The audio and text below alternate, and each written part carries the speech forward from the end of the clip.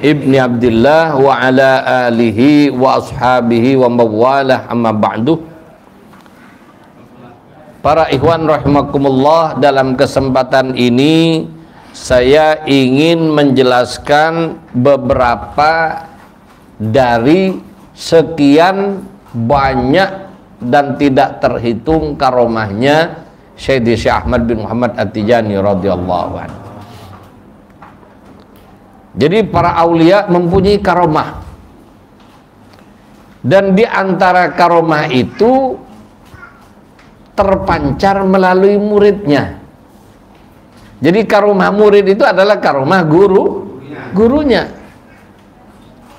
Karomahnya para aulia itu adalah mukjizatnya mukjizat nabi yang menjadi induk dari wali tersebut. Jadi nabi-nabi terdahulu mempunyai para para wali dari umatnya. Jadi mukjizat para para nabi terdahulu di samping memancar melalui tangan beliau sendiri juga di antaranya juga memancar melalui para wali pada zamannya. Mukjizat Rasulullah sallallahu alaihi wasallam tetap berjalan dan memancar sepanjang zaman. Termasuk memancar lewat para aulia wabil khusus melalui Sayyidul Aulia Syekh Syekh Ahmad bin Muhammad At-Tijani radhiyallahu anhu. Karomahnya Syekh Syekh Ahmad bin Muhammad At-Tijani radhiyallahu an di samping memancar melalui tangan beliau pribadi juga memancar melalui murid-muridnya.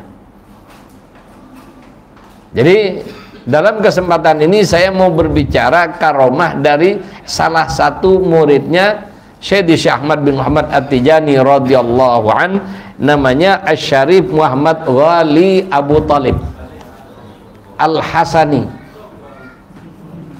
Jadi Sayyid Muhammad Al-Ghali Abu Talib Jadi Asy-Syarif Al-Hasani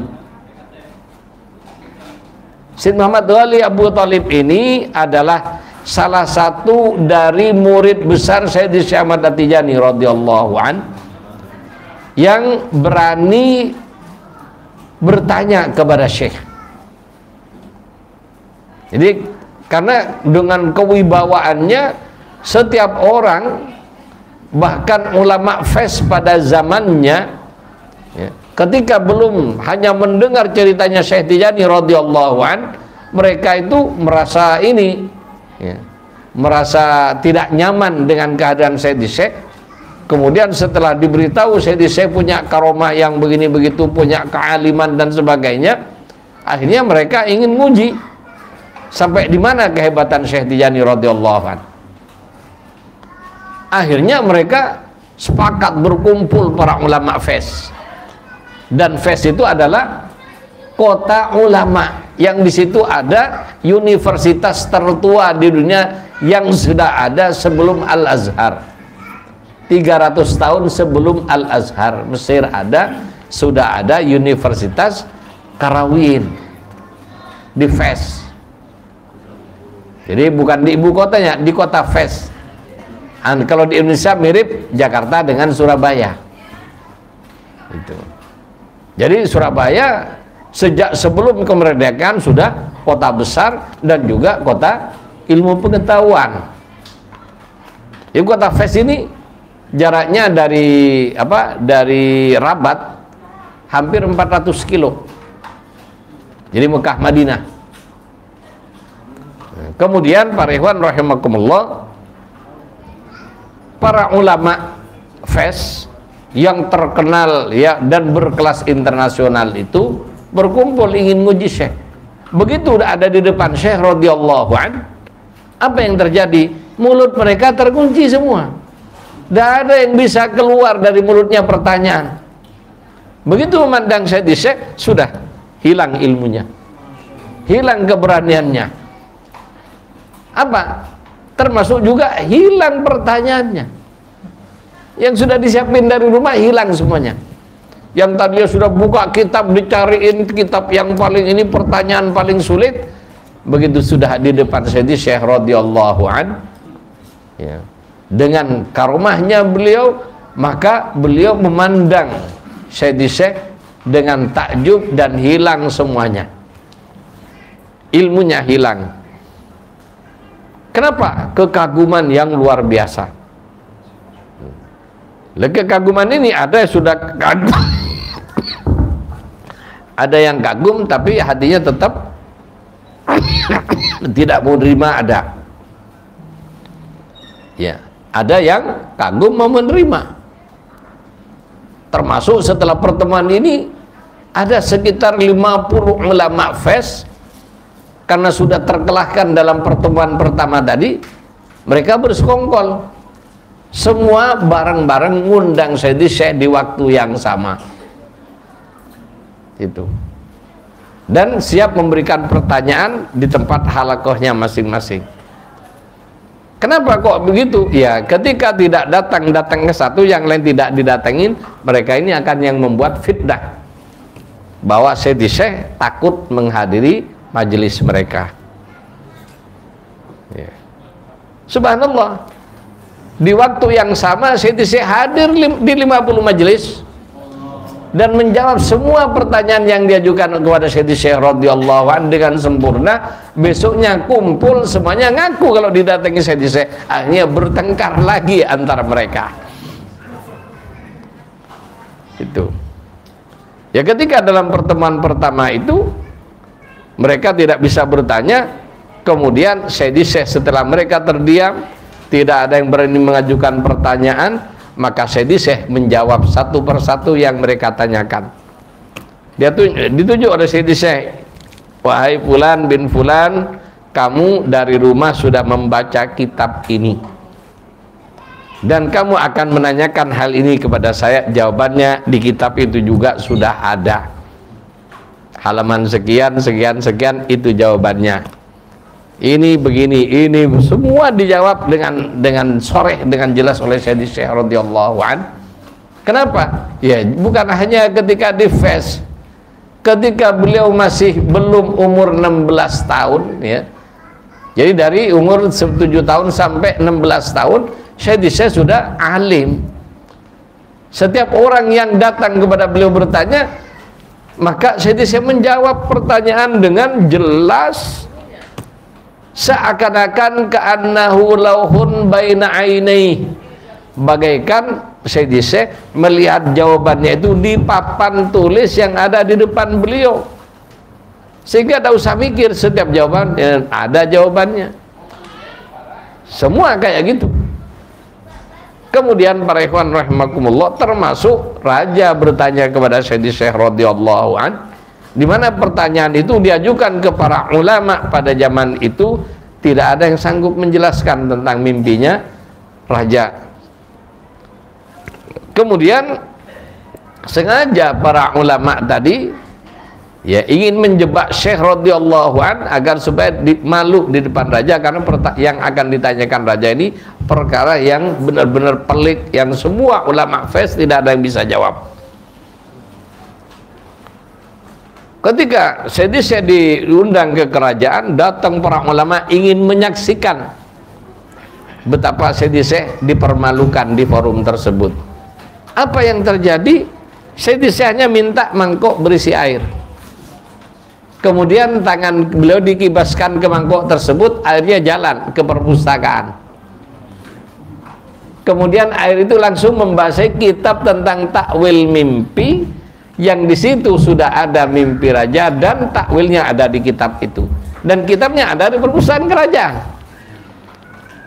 Sehingga selesai itu silakan ambil di perpustakaan di rak nomor sekian sekian sekian bawa ke sini dibuka yang basah itulah mimpinya raja dan takwilnya juga ada di situ. Dibuka persis dengan yang dimimpikan oleh raja takwilnya juga sudah ada di kitab itu Syekh tidak perlu jawab.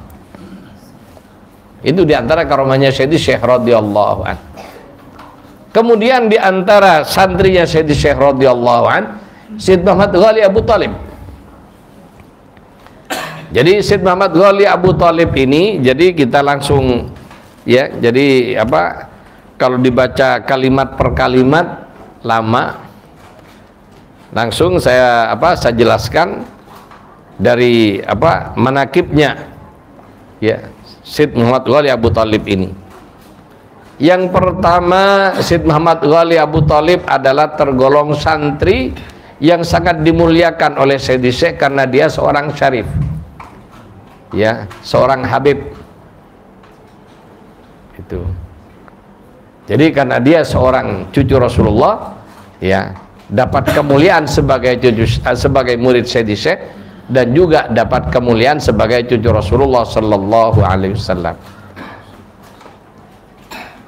Kemudian coba ini mengganggu suaranya tak tak tak itu. Jadi yang pertama itu. Apalah? Nah ini. Kalau sudah terganggu hilang Syed Muhammad Wali ya. Karena dia adalah para syarif maka dia dapat kemuliaan karena syarifnya. Kemudian yang kedua karena kecerdasannya. Yang ketiga kemampuannya menerima ilmu dan asrar dari Sayyidi Syekh radhiyallahu. Sehingga Syed Muhammad Ghali Abu Talib adalah salah satu dari sepuluh santri besar Sayyidi yang dijamin mendapatkan Fathul Akbar. Apa Fathul Akbar? Ra'an Nabi sallallahu alaihi wasallam wa musyafahatan jadi orang yang Fathul Akbar bisa ketemu Nabi dalam kondisi sadar. Salah satunya adalah murid Sayyidi Sin Muhammad Ghali Abu Talib. Sepuluh murid yang dapat mubasyirat. Apa mubasyiratnya? Akan mendapatkan Fathul Ak Akbar. Mempunyai kemiripan dengan sirah nabawiyah dengan sejarah Rasulullah sallallahu alaihi wasallam yang mana Rasulullah punya 10 sahabat pertama yang dapat janji menyenangkan yadkhulunal jannata bighairi hisab. Jadi 10 orang pertama yang dapat dijamin oleh Allah melalui lisan Al-Amin Rasulullah sallallahu alaihi wasallam akan masuk surga tanpa hisab adalah sahabat-sahabat Rasulullah Sayyidina Abu Bakar, Sayyidina Umar, Sayyidina Uthman, Sayyidina Ali dan sebagainya 10 orang. 10 orang mas akan masuk surga. Cucunya Sayyidi Syekh radhiyallahu dapat mubasyirat karena jadi mempunyai persamaan dengan Rasulullah. 10 juga. Bagaimana yang 10 ini? 10 dijamin Fathul Akbar. Apa Fathul Akbarnya? Ketemu Rasulullah. Yang menunjukkan dia wali yang tingkatnya tingkat tinggi kelasnya wali kutub. Jadi bertemu Rasulullah dalam sadar 10 orang dari 10 orang pertama dari muridnya Syedi Syekh dan ya wali kutub yang ketemu Rasulullah dijamin masuk sur surga sehingga mempunyai kesamaan di antara kesamaan Rasulullah dan saya dengan datuknya Rasulullah. Rasulullah punya sahabat 10 orang dijamin masuk surga kemudian di, mempunyai 10 orang murid yang dijamin Fathul Ak Akbar. Dan Fathul Akbar ini orang yang dijamin imannya tidak akan terjabut. Jadi oleh karena itu tolong para ikhwan jangan sok-sokan karena sudah tijani sok-sokan merasa tidak akan ini merasa selamat. Ntar dulu. Kita ini baru selamat dijamin selamat kalau sudah nazak bahwa la ilaha illallah. Atau kita masih belum mati tapi sudah yakdoh dengan Rasulullah baru terjamin. Kalau belum ya belum terja terjamin. Kalau hanya mimpi belum terjamin 100% jadi mimpi itu apa uh, orang mimpi Rasulullah sallallahu alaihi wasallam itu tanda akan selamat. Tanda akan husnul khatimah. Tapi kalau hanya lewat mimpi itu bisa terjadi di batal dibatalkan dicabut itu. Kalau sudah ketemu Nabi dalam sadar dijamin tidak akan terca tercabut. Tapi tetap harus menjaga adab. Itu. Karena yang sulit ini menjadi orang terdekat guru itu menjaga adab. Di antara orang yang sangat dekat dengan Sayyid Syekh dari muridnya adalah Syed Muhammad Al-Arabi Ad-Damrawi Bagaimana? Tiap hari ya bertemu Rasulullah dalam sadar 24 kali. Berapa? Sadar. Terus bagaimana? Tapi dia sempat, ya sempat. Jadi bukan sul adab dohirnya, dalam hatinya sempat terbesit dia adalah orang yang sudah terjamin dan dia mendapatkan begitu karena dia syarif juga. Ya. Dan juga karena mengamalkan wirid. Jadi bukan murni dari Syekh radhiyallahu an. Hanya terbersit seperti itu oleh Syekh dicabut. Sehingga yang tadinya tiap hari ketemu Rasulullah dalam sadar berhenti Rasulullah tidak mau lagi ketemu. Nah ini para ikhwan rahimahullah hati-hati.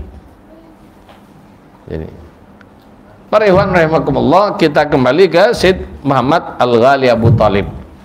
Syed Muhammad Ghali Abu Talib ini adalah santri besar Syekh yang dapat jaminan Fathul Akbar. Ini yang ke rumah pertamanya Syed Muhammad Ghali Abu Talib. Kemudian yang kedua, Syed Muhammad Ghali Abu Talib di antara santri Syekh yang dijadikan stempel Bagaimana kok stempel kok dibilang-bilang? Jadi apa ya? Untuk perkara-perkara penting dia dijadikan saksi.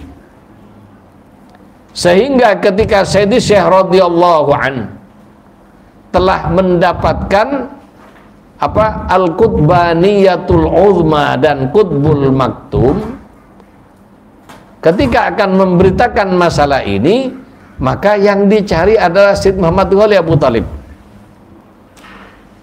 sehingga pada suatu sore saya disek ya bersama para fukara dijani dengan murid-muridnya saya tanya ayana Syed Muhammad Ghali Abu Talib? Di mana Syed Muhammad Ghali Abu Talib? Ya karena di Caan saya saya yang manggil akhirnya para para ikhwan di sana mencari beliau. Akhirnya datang ke Zawiyah. Dan ini ada di Jawahirul Ma'ani ada juga dalam kitab Rimah dijelaskan juga dalam kitab Boghya dan secara khusus ini di kitab Kasful Hijab yang kita baca sekarang. Kemudian setelah Sayyidi uh, Muhammad Ghali Abu Talib datang Sayyidi saya mengatakan qadamaya hatani ala raqabati jami awliya illahi ta'ala min ladunna adam ila yaumun fissur Jadi dicari dulu si Muhammad Wali Abu Talib. Kenapa? Dia orang yang pantas menjadi saksi. Makanya milih saksi itu harus orang yang yang hebat, orang yang jujur. Coba orang mau nikah, nyari saksi ya orang yang hebat yang dibawa. Itu. Kenapa? Untuk menguatkan dan saksi bukan hanya untuk kepentingan KUA. Saksi di Allah Subhanahu wa taala termasuk juga nanti saksi itu akan membawa keberkahan kepada anak keturunannya. Itu. Ya kalau maaf maaf disaksikan preman ya jangan-jangan nanti bisa jadi preman kan gitu. Ya penting saksi itu. Isin Muhammad Ghali dipanggil oleh Rasulullah untuk menjadi saksi tentang klaimnya sebagai Al-Khatmul Aulia Al-Muhammadi sebagaimana Rasulullah sallallahu alaihi wasallam al khatmul anbiya wal mursalin. Itu. Jadi ketika datang saya menyatakan qadamaya kedua kakiku tadi kedua kakiku kakiku ini kata saya. Ala raqabati di atas pundak jami aulia illahi ta'ala para wali seluruhnya min ladun adam ila yaumin ufisur sejak zaman Nabi Adam sampai kiamat. Artinya para aulia seluruhnya berada di bawah Sayyidi Syekh radhiyallahu an. Kemudian Syed Muhammad Ghali karena memang dia yang berani bertanya maka beliau bertanya kepada Sayyidi Syekh radhiyallahu anhu Ya Syekh apakah anda sekarang ini dalam keadaan sadar atau dalam keadaan? Jadi dalam keadaan ya sakau lah sakau dengan asror sehingga para aulia pada titik tertentu itu tidak ingat apa-apa. Berbicara di luar kontrol fikirannya jadi Syed Muhammad Ghali tanya apakah saya ini saat ini apakah dalam keadaan sadar terkontrol atau dalam keadaan ya seperti majdub lah kalau bahasa kasarnya. Syed saya menjawab saya dalam keadaan sadar. Alhamdulillah. Itu kata Syed Syekh radhiyallahu Kemudian Syed Muhammad Ghali tanya lagi, "Ya Syekh, bagaimana dengan klaim Syekh Abdul Qadir Jailani radhiyallahu an yang mengatakan qadami ala raqabati jami'ullah illahi ta'ala." Kakiku ini ada di atas pundaknya para aulia. Di mana ketika Syekh Abdul Qadir mengatakan seperti itu, wali di seluruh dunia hatta lagi di depan muridnya langsung begini semua sehingga ada orang wali yang ditanya kenapa kok membungkuk seperti itu ya Syekh? Apa kata wali itu? Ini kakinya Syabdul Qadir ada di tengkuk saya. Jadi, jadi kaki beliau secara go secara goib kaki rohani beliau. Ya. artinya para wali pada saat itu semuanya berada di bawah kendali Syabdul Qadir Al-Jailani Kemudian Syed Muhammad Ghali tanya, lu bagaimana Syekh Abdul Qadir ngomong kayak gitu? Apa kata Syed Syekh? Sadaqah benar dia. Sadaqah radhiyallahu an, benar beliau. Fi asrihi akan tetapi klaim itu adalah berlaku pada zaman Syekh Abdul Qadir masih hidup. Jadi amma ana adapun aku faakulu aku katakan lagi kodamaya yang Syabdul Qadir satu kak kaki kodami kakiku ini. Ya mungkin kaki kanan beliau ya.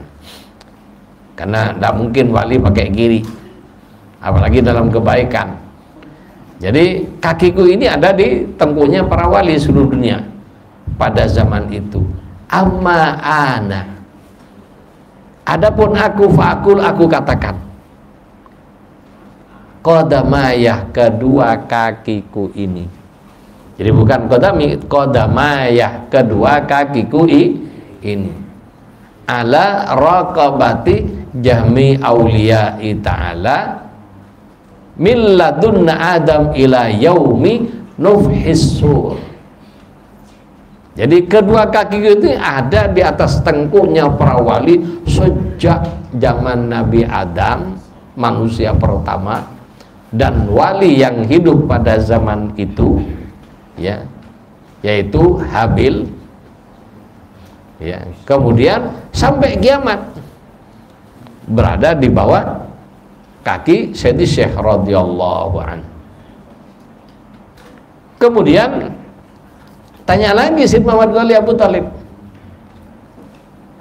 Apakah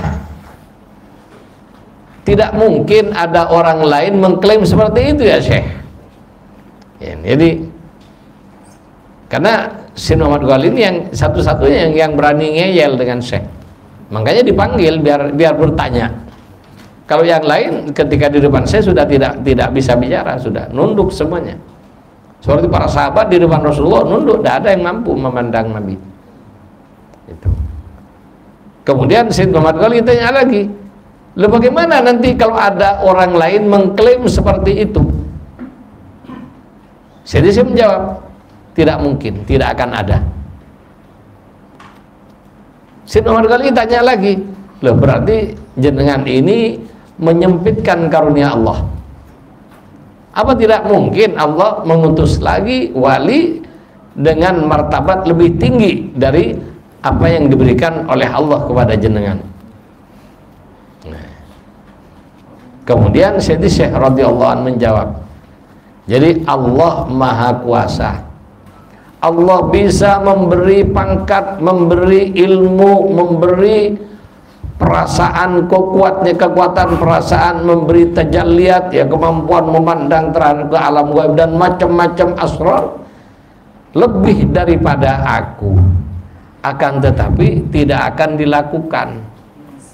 Kenapa? Karena telah ditetapkan oleh Allah sejak zaman azali Khatmul Aulia Al-Muhammadi adalah aku satu-satunya Khatmul Aulia Al-Qutbul Maktum aku satu-satunya di mana martabatku tidak ada martabat lagi kecuali martabat kenabian. Sama dengan yang dialami oleh Rasulullah sallallahu alaihi wasallam Allah bisa ngangkat nabi yang martabatnya lebih tinggi dari Rasulullah sallallahu alaihi wasallam.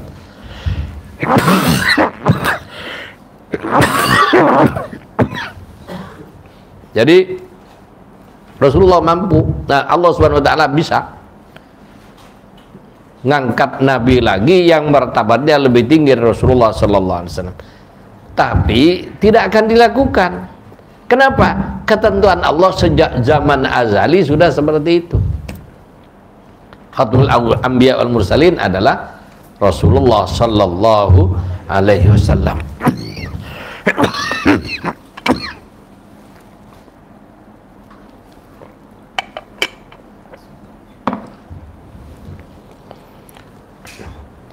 Jadi ini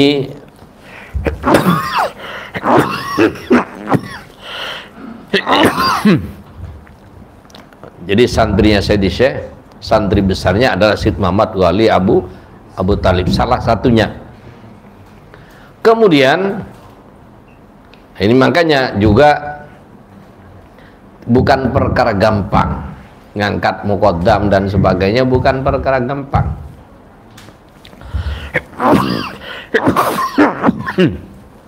Syed Muhammad Wali Abu Talib dengan kedudukannya yang sangat tinggi di sisi di Syekh radhiyallahu an. Hanya diberi wewenang ngangkat empat mukoddam jadi saya di hanya memberi wewenang, memberi wewenang kepada Syed Muhammad Ghali Abu Talib ngangkat hanya empat mukod mukoddam jadi bukan sembarangan. Dan empat mukoddam ini ya jadi Syed Muhammad Ghali bisa mengangkat empat mukaddam dan empat mukaddam itu boleh masing-masing mengangkat empat orang. Salah satu yang diangkat mukaddam oleh Syed Muhammad Ghali Abu Talib adalah Syed Umar Al-Futi. Yang juga mempunyai karomah yang luar biasa jadi Syed Umar Al-Futi ini ibaratkan ini santri cucu dari Syekh Syed Muhammad Ghali santrinya langsung Syed Umar Al-Futi ya santrinya di apa dari Syed Muhammad Wali. Oleh karena itu, literatur kitab Tijani yang ditulis oleh Sidi Ali Harazim di mana Syed Ali Harazim wafat 12 tahun mendahului Syedi Syekh radhiyallahu anhu.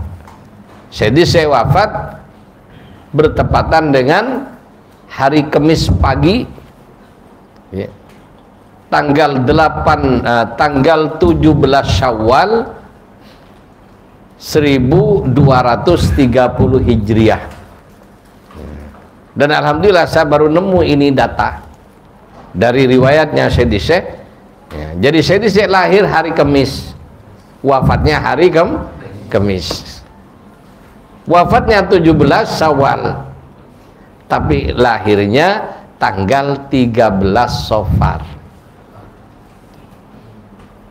Jadi 13 Safar hari Kem, Kemis tahun 1150 Hijri Hijriyah. Para ikhwan rahimakumullah, Rizid Muhammad Ghali ketika Sayyidi Syekh radhiyallahu anhu masih hidup beliau menyatakan nanti setelah beliau wafat yang mensolati nanti Sayyid Muhammad Ghali Abu Talib yang jadi imam. Tapi apa yang terjadi? Ketika Sayyidi Syekh wafat Sayyid Muhammad Ghali tak lagi bepergian jauh. Zaman dulu kan tidak mungkin. Buru-buru jadi kendaraannya hanya unta, belum ada Toyota. Akhirnya ketika sampai acara penguburannya Sid Muhammad Wali tidak datang. Belum datang sehingga tidak tidak keburu bertemu dengan saya pada akhir hayatnya. Sementara Siti Syekh mengatakan nanti saya akan disolatin oleh Sid Muhammad Ghali sehingga para ikhwan bertanya akhirnya apa yang terjadi dua tahun setelah wafatnya Syekh? Jadi dua tahun setelah Syekh Syekh radhiyallahu anhu wafat ya, kan putra beliau Syed Muhammad Al-Kabir dan Syed Muhammad Al-Habib ya sebelum beliau wafat dikirim ke gurun ke kembali ke kelahirannya di di Ainumadi dan dididik secara khusus di Tamasin makanya hubungan saya dengan Sid Ali At-Tamasini ya, Sid Ali At-Tamasini yang dititipin putra Sayyidi Syekh radhiyallahu an keduanya. Beliau yang mengasuh. Dibawa ke apa ke gurun Sahara. Kemudian para ikhwan rahimakumullah setelah dua tahun wafat Sayyidi Syekh radhiyallahu an kedua putranya ini merasa tidak nyaman ingin jenazah Sayyidisa itu di, dibawa pulang ke Ainumadi ke Aljazair dari Maroko. Lain negara ini. Jadi mau di, dibawa pulang. Sehingga diam-diam ya, jenazah Sayyidisa di digali. Ya dengan bahasa ini ya mau di mau di apa di, diambil diam-diam kalau dibilang dicuri tidak sopan. Masa putra saya dibilang mencuri kan enggak kan? Jadi kenapa ya karena mahabbahnya dan doanya jadi merasa orang tuanya masa dikubur di negeri orang. Maka apa kedua putra beliau ini menginginkan di dipindah ke tempat kelahirannya di Ainumadi maka digali diam-diam. Kemudian setelah itu dibawa jadi dia bawa orang menjadi dibawa jenazah Sayyidi Syekh radhiyallahu an. Jadi sudah dua tahun. Ya dua tahun dikubur utuh. Kenapa? Ya tanda tanda keselam, tanda dia orang baik di antaranya jenazahnya uh, utuh. Jadi kalau jenazahnya digali dapat sebulan sudah kocar kacir ya tandanya ya lagi habis dipendungin mungkarna, habis dipendungin mungkar nakir. Ya, jadi saya utuh. Dan juga di antara jaminan Ikhwan Thariqah Tijani kalau benar utuh jenazahnya. Dan ini apa ya saya alhamdulillah di di daerah saya ya kejadiannya itu terjadi. Ya, sehingga kalau di daerah Jawa Timur, di Jember, Probolinggo dan sebagainya itu ikhwan banyak itu kata almarhum Kefauzan ini gara-gara kampanyenya orang mati. Kenapa? Ya banyak. Jadi ada kejadian di Bondowoso orang kampung, satu kampung ini hanya tujuh orang. Kemudian istiqomah mereka. Setelah wafat, salah satunya ya wafat, lah ini dapat tujuh hari itu datang ke rumahnya. Datengin anaknya, ngedatengin teman-temannya, didatengin semua, ngomong-ngomong ya tentang kubur, tentang ini, ya ini begitu sadar loh Kang kamu kan sudah meninggal. Iya. Lo kok pulang? Enggak ini hanya ingin menegaskan ini saja kamu jangan sampai keluar dari Tijani. Alhamdulillah aku mendapatkan rahmat dari Allah barokahnya Syekh Tijani radhiyallahu habis itu keluar dari pintu hilang. Jadi anaknya sendiri didatengin, tetangganya didatengin. Dia karena kayak gitu gempar sehingga yang masuk dia ini tidak usah di ini sudah. Itu. Banyak kejadiannya ya kalau di apa di Probolinggo, di Lumajang banyak kejadian seperti itu. Kalau di Jember lain lagi. Apa? Dua tahun meninggal datang di ke mimpi salah satu ikhwan minta tolong Kang minta tolong dipindahin aku jadi minta pindah kuburannya. Setelah dua tahun. Kenapa? Itu nyumber. Digali nyumber beneran. Ya dipindahkan. Itu. Tapi dua tahun hatta kain kafannya masih masih utuh dan baru. Kayak baru orangnya masih segar sudah dua tahun. Hmm. Jadi ya karena sudah ngelihat bukti kayak gitu lo belum percaya ya kebangetan kan itu ya ini kan oleh karena itu ayo kita sudah tidak usah macam-macam dah Kenapa? Ya kita dapat ya walaupun montang manting siang malam mau jadi apa sih kita? Punya harta banyak ujung-ujungnya kalau kita mati ditinggal ya bisa-bisa ya di jadi rebutan anak, jadi rebutan bisa juga diambil suaminya. Suami kan, kan korban dari ini. Oleh karena itu ayo kita jaga para ikhwan rahimakumullah kembali ke Syed Muhammad Wali Abu Talib jadi Syed Muhammad Wali Abu Talib ini punya murid besar namanya Syed Umar Al Al-Futi. Syed Muhammad Wali Abu Talib ini kalau baca wirid saking husuknya pernah terjadi dia wirid ya di ruang wiridnya beliau. Kemudian ya rumah zaman dulu kan sederhana tidak kayak sekarang. Ya, walaupun sudah tingkat-tingkat zaman dulu kan. Itu anaknya itu jatuh dari balkon.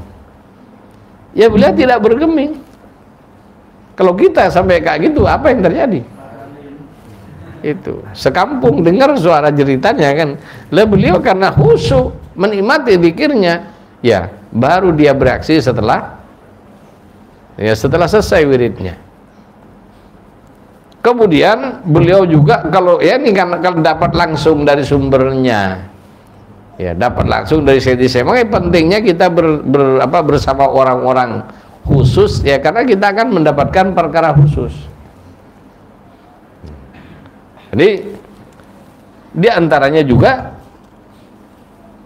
ada orang yang apa di antara murid-murid Said Muhammad Ghali Abu Talib ini pernah Syed Muhammad Ghali lagi baca lazim beliau kalau baca lazim itu ya sampai dua jam kalau kita berapa? Hmm.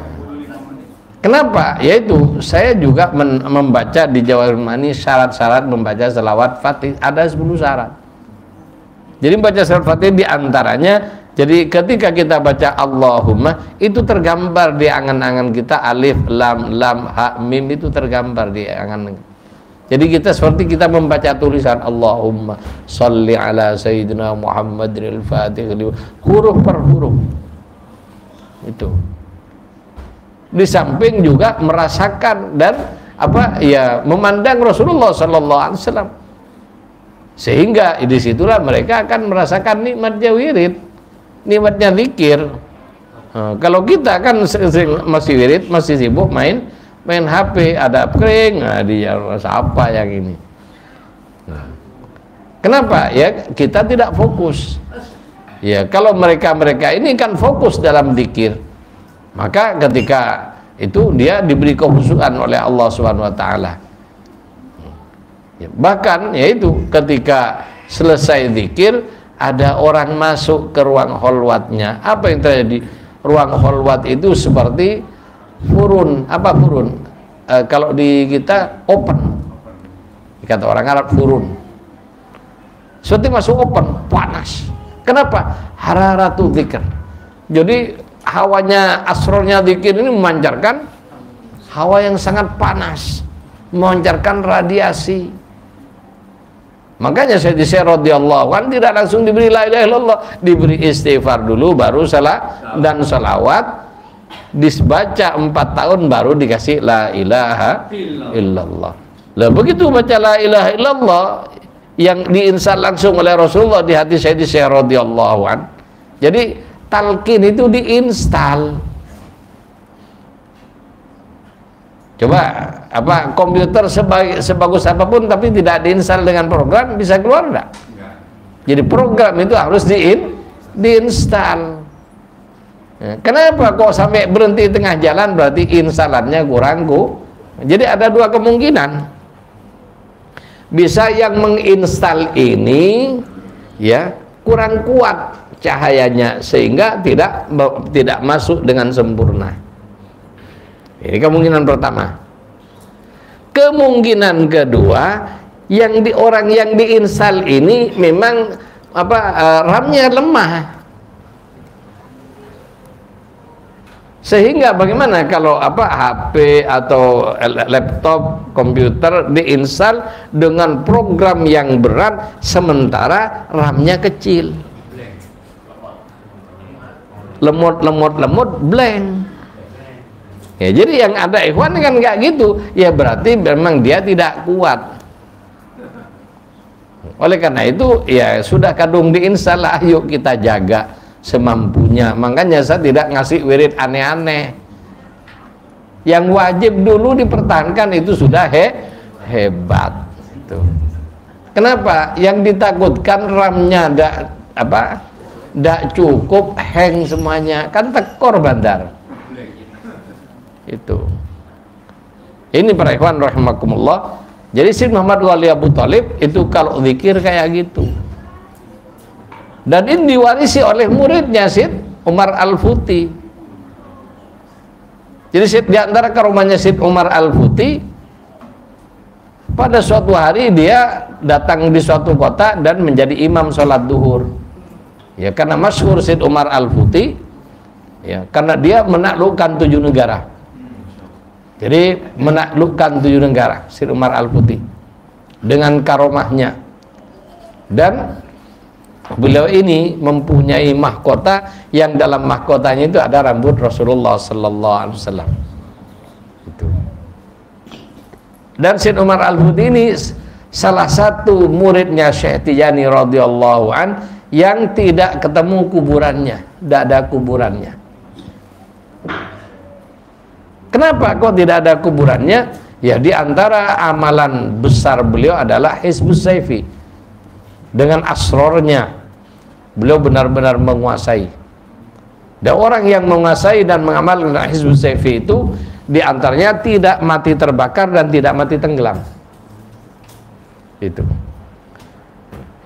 Jadi di antara tanda karomahnya Syed Umar Al-Futi ini jadi imam sholat duhur Ada orang pulang dari beli daging ke pasar Ya. Kemudian karena ada Syed Umar Al-Futi yang ngimamin sholat duhur Buru-buru. Jadi dagingnya masukin saku Saku jelananya langsung makmum. Sampai di rumah dagingnya dimasak, tidak masak-masak itu baru makmum da, belum ngamalin wiridnya nah, itu jadi kayak gitu dan Sid Umar Al Futi ini adalah pejuang yang paling dimusuhi oleh Prancis pada saat itu yang menjajah Aljazair, Maluku, Maroko, Tunis dan sebagainya. Itu. Dan Sid Umar Al Futi ini akhirnya karena memang tetap yang namanya pejuang dan ditakdirkan syahid oleh Allah Subhanahu wa taala. Ketika beliau bersembunyi di satu gua ya, kemudian ada orang berkhianat memberitahu tempat persembunyiannya maka gua itu dibom. Sama tentara Perancis. Setelah selesai dibom dilihat ke dalam gua. Satu-satunya yang tidak ada hanya jenazah beliau. Jenazah yang lain ada tapi jenazah beliau tidak ada sehingga dari sinilah ikhtilaf jangan-jangan belum wafat sampai sekarang. Karena di antaranya beliau ini ada yang me me menyatakan bahwa Al-Mahdi beliau itu. Itu. Wallahu alam. Tapi namanya penda pendapat. Jadi jadi antaranya kayak gitu. Jadi ini penjelasan tentang Sid Muhammad Wali Al-Ghali Abu Talib diberi karamah oleh Allah Subhanahu wa taala dan di antara karamahnya adalah beliau mendapatkan Fathul Akbar salah satu dari 10 murid Syekh yang dapat janji Fathul Akbar. Dan itu terjadi. Yang kedua adalah karomahnya beliau satu-satunya murid yang berani bertanya dan diizinkan oleh Syekh radhiyallahu anhu dan banyak karomah-karomah lain di antaranya memancar lewat murid-murid beliau. Ya. dan di antara keistimewaannya sanad beliau inilah yang dikenal sampai dengan saat ini adalah dengan sanad kutbani sanad di mana dari dari paling atas dan seterusnya jadi wali kutub semua. Jadi jadi di Tijani ini ada dua kutub sanad di luar keluarga Sayyidi Syekh radhiyallahu an dari murid-muridnya Syekh. Jadi sanad dari murid besarnya yang ngasuh Syed Muhammad Al-Habib dan Syed Muhammad Al-Kabir yaitu Syed Ali At-Tamasini. Ya. Syed Ali At-Tamasini ini sampai ke bawah khalifah semua martabatnya. Jadi melahirkan sehingga sanad beliau dikenal sanad khalifah atau sanad zahabi, sanad emas karena sampai dari Sin Ali At-Tamasini Khalifatul Syekh radhiyallahu an. Beliau punya murid besar namanya Sin Abdul Ahmad Abdullawi, khalifah juga dari Tariqah At-Tijaniyah di luar keluarga Syekh Syekh radhiyallahu Jadi khalifah ini ada dua, ada khalifah am yang selalu di, dijabat oleh keluarga Syekh Syekh radhiyallahu. Ada khalifah di luar keluarga Syekh di antaranya Syed Ali At-Tamasini muridnya Syekh radhiyallahu punya murid Syed Muhammad Abdullawi. Syed Ahmad Abdullawi khalifah. Syed Ahmad Abdullawi ini punya murid namanya uh, As-Sayyid Ahmad As-Sukairit Al-Ansari yang juga khalifah. Kemudian beliau juga punya murid besar yang terkenal dengan Imam Suyuti abad 20 karena kealimannya termasuk juga karena penguasaannya tentang asror Toriko dan di bawah pengawasan beliau kitab Jawahirul Hams dicetak. Kenapa? Sid Idris Iraki adalah orang yang mewarisi asror Sayyidi Syekh radhiyallahu an secara khusus jadi sanad beliau ke atas ini dikenal sangat sanad khalifah. Alhamdulillah saya mendapatkan dari kedua-duanya. Jadi saya mendapatkan sanad Said Idris Al-Iraki pertama dari guru saya Ki Badri Masduki. Ki Badri Masduki dari beliau Said Idris Al-Iraki. Said Idris Al-Iraki dari gurunya Syed Ahmad Sukairit Al-Ansari. Dari gurunya Syed Ahmad Abdullawi, dari gurunya Syed Ali At-Tamasini, dari Syed Syekh Ahmad At-Tijani radhiyallahu ya dikenal dengan Said apa sanad Zahabi ya.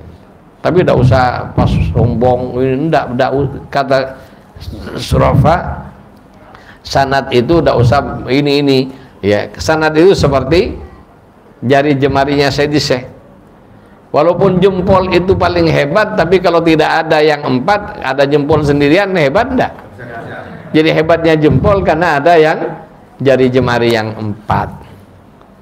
Jadi jempol hebat tapi kelingking tidak ada sudah cacat makanya harus ada semuanya. Oleh karena itu masing-masing dapat fungsi dan masing-masing adalah mukaddamnya Syedi Syekh radhiyallahu oleh karena itu saya juga pesan kepada ikhwan yang bayat melalui sanad ini ya saya kasih tahu tolong jangan sombong akan tetapi penting juga sanat yang barokah ini sangat pen, sangat penting.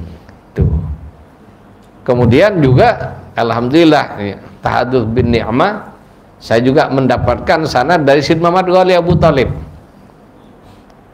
jadi Syed Muhammad Ghali Abu Talib ini sanadnya dikenal sanad kutbani karena wali kutub semua.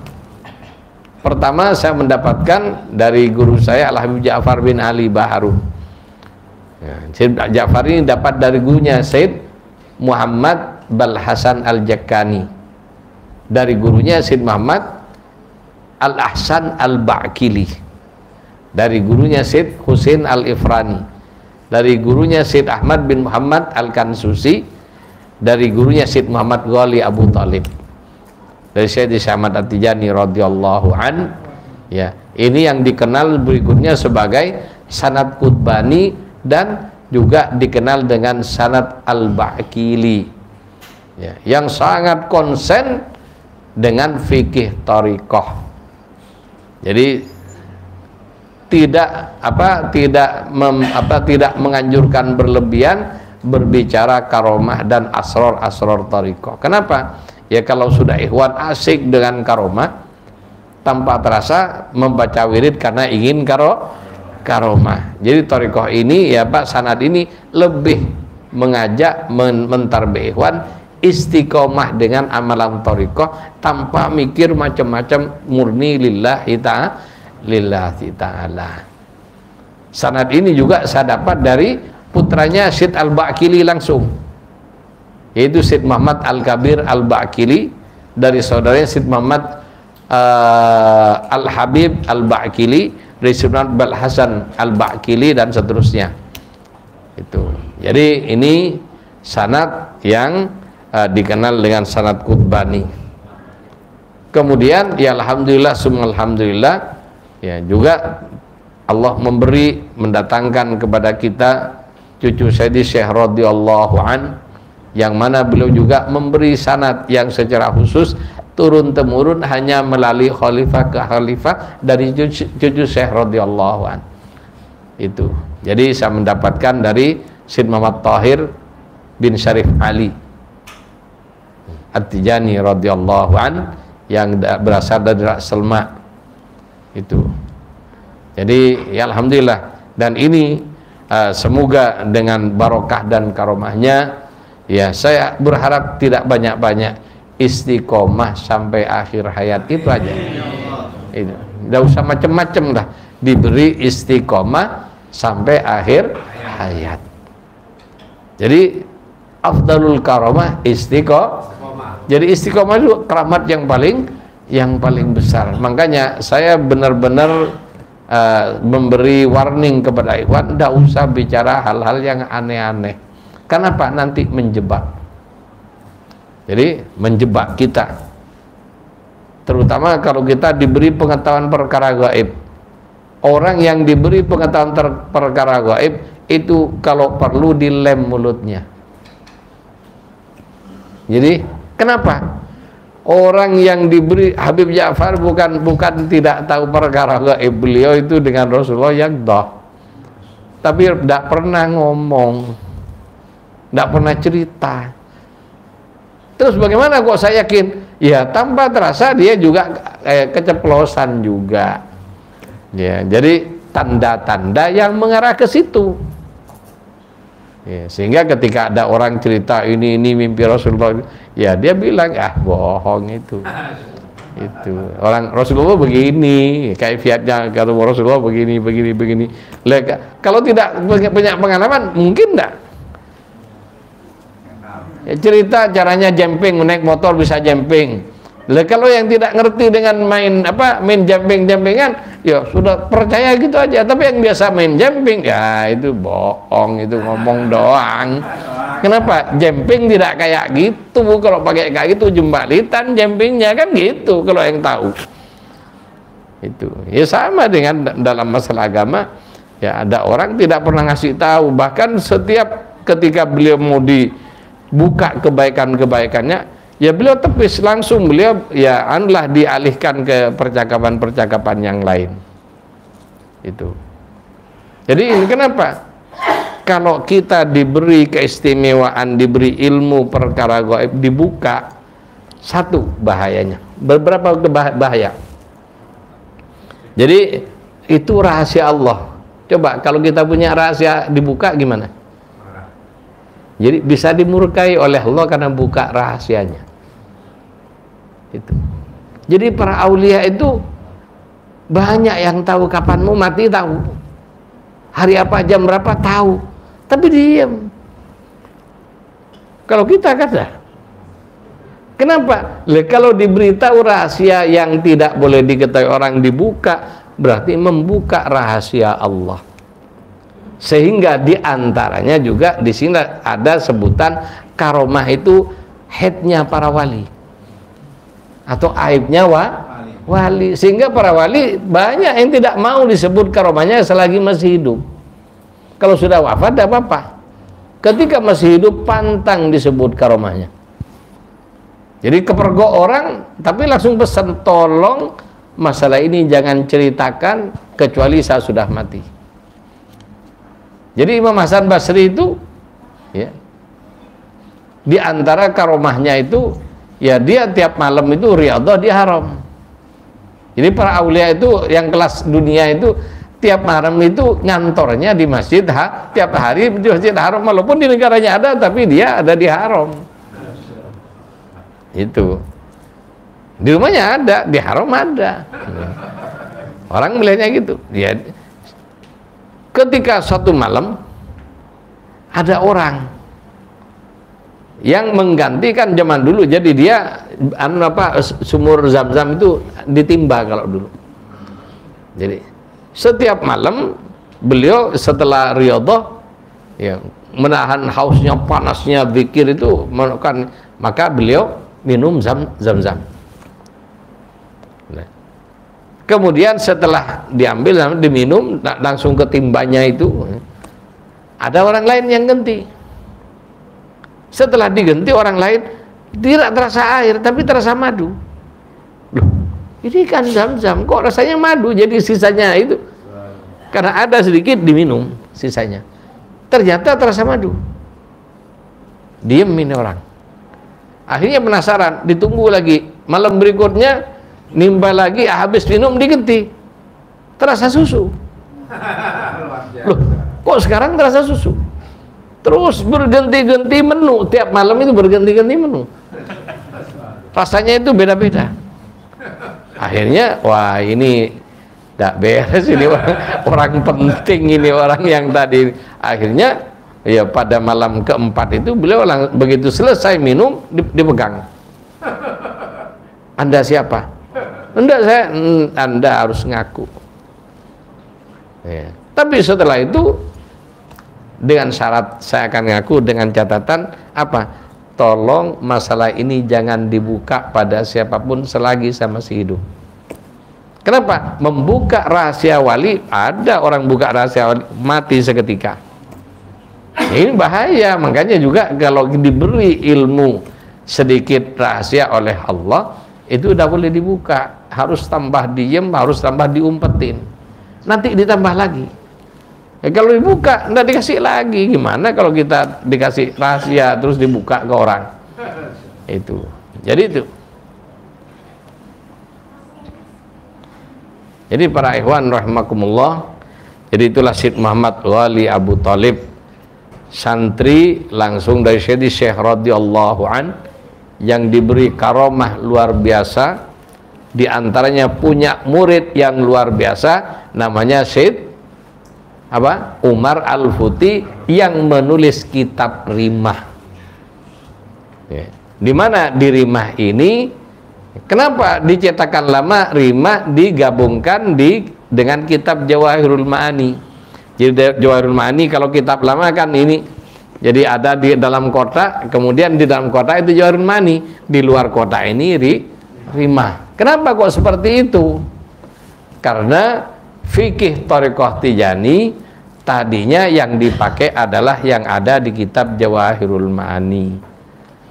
Setelah Sid Ali Harazim wafat, Jawahirul Ma'ani dibiarkan aslinya tanpa ada perubahan akan tetapi fikih toriko setelah Sid Ali Harazim wafat ada perubahan-perubahan di antaranya wadifah ya aslinya wadifah astaghfirullah 100 kali Jadi bukan astagfirullahaladzim illa bukan astagfirullah 100 kali. Selawat Fatih 100 kali.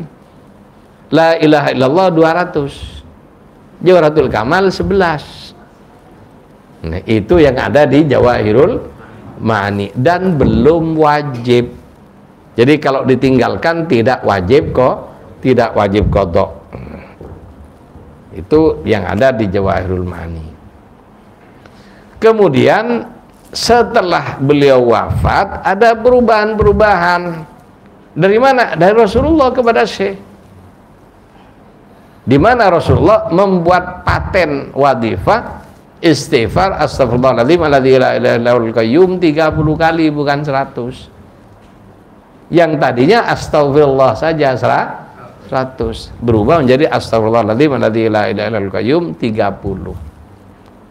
selawat fatih yang tadinya 100 menjadi 5 50 dan tidak boleh diganti dengan selawat lain.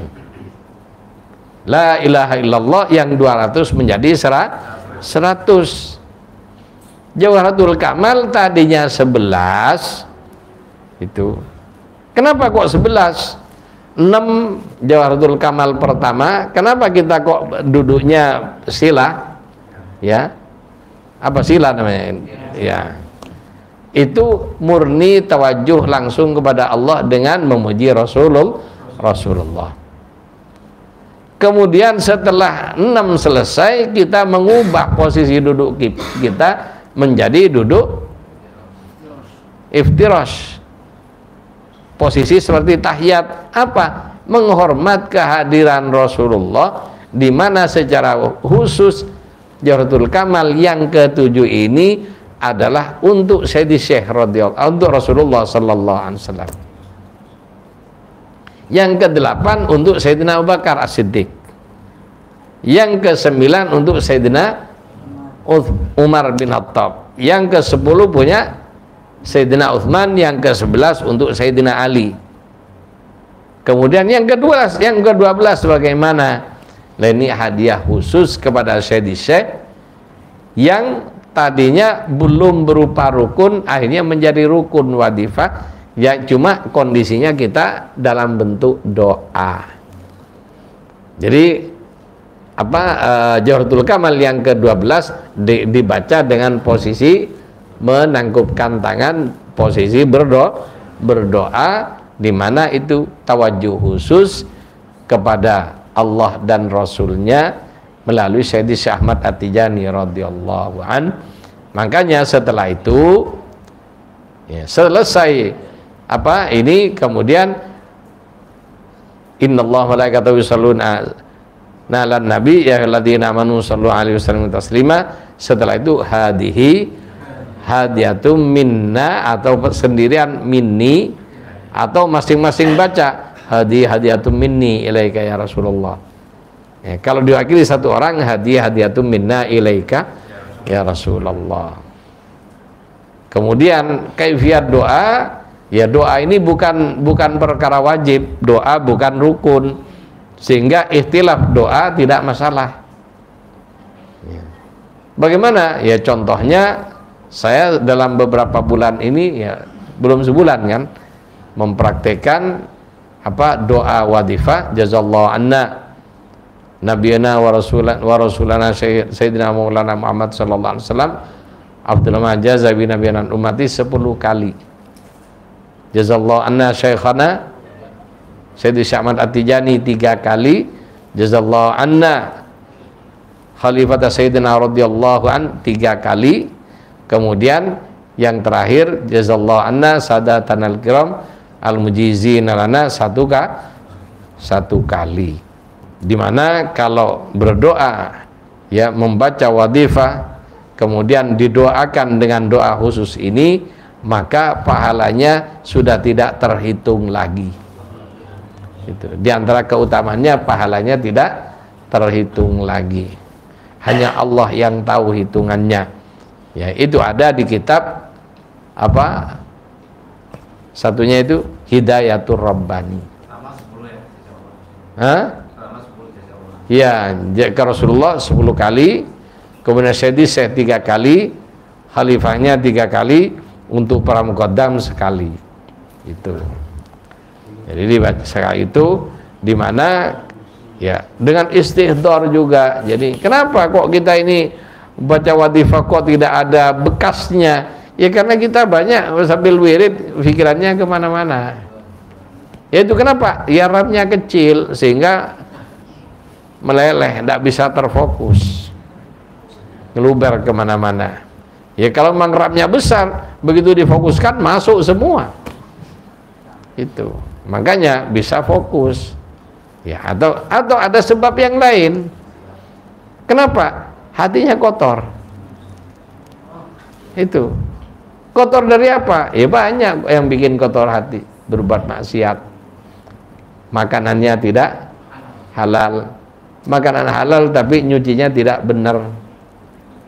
Dan macam-macam. Itu. Jadi kotoran dosa. Sudah dosa tapi banyak orang masih hatinya kotor dengan penyakit hati apa? Masih ada ria, sum'ah, ujub, takabur. Itu. Dan masih banyak faktor lain yang membuat kita ini tidak fokus ketika baca wi, wirid. Terus bagaimana? ya wirid tijani tidak harus kayak terekat lain. Jadi kalau terekat lain kan kalau sudah fokus ini ini tak ya sampai lupa diri. Tijani tidak makanya iwat tijani walaupun sudah selitak selituk sudah biarin aja. Ya. Kenapa? Sudah kayak gitu ramnya kecil. Masa mau di ini? Kenapa? Iwan Tijani ini tidak diwajibkan nyandang asror. Kalau tarekat lain disandang sendiri. Iwan Tijani apa? Keseh semuanya. Makanya selesai dihadiahkan ke Rasulullah keseh semuanya. Jadi dia tidak pegang apa-apa. Itu. Iya Pak, kayak orang pabrikan itu kerja selesai kerja di setor, pulang tidak bawa apa-apa, karena memang gajinya kecil. kan gitu. Nah, tapi kalau kita tidak, alhamdulillah di Tijani gajinya gede kan gitu. Dan tidak perlu dibawa sendiri. Jadi langsung ditampung. Itu.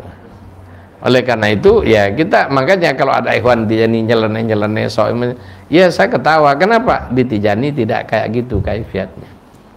Jadi tijani makanya saya disek satu-satunya wali yang mengasas toriko yang mengatakan idza sami'tun anni syai'an fazinu bimizan syar.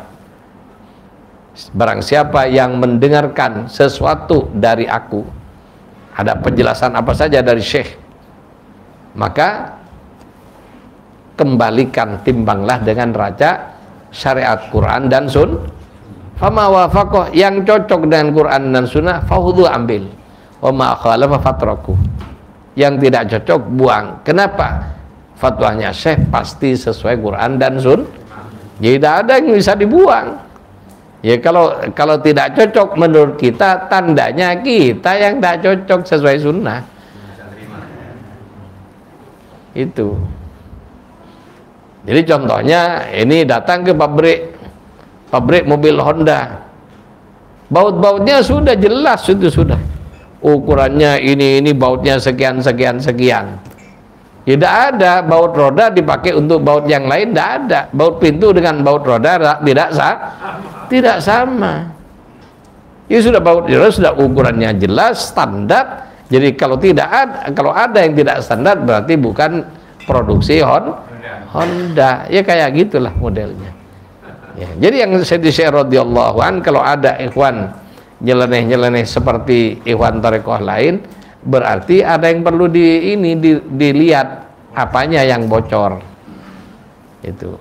Jadi moga-moga kita oleh Allah Subhanahu wa taala dijadikan santrinya Syekh Syekh radhiyallahu an ya yang istiqomah sampai akhir hayat kita dan makbul inda Allah, makbul inda Rasulullah makbul inda Syedi Syekh radhiyallahu an Allahumma surna fi zumrati abil faidit tijani wa amiddana bimadadi khatmil awliya il kitmani ibarakati Allahumma salli ببركة اللهم صل على سيدنا محمد الفاتح لما أغلق سبق ناصر الحق بالحق والهادي إلى صراطك mustaqib وعلى آله حق قدره ومقداره العظيم.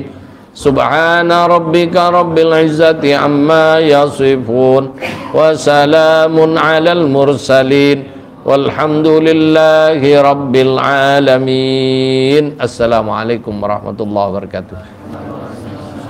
Yang masih mau tanya monggo.